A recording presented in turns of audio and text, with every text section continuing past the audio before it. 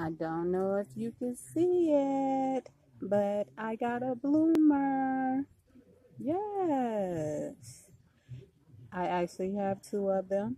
I wanted to show you this because every video I've looked up on YouTube and they don't show this part of the process. They will show you like the flowers and everything, but I wanted us to go through the whole journey together. Because I was like, I wonder how many days before I'm going to see something or if I'm going to see something.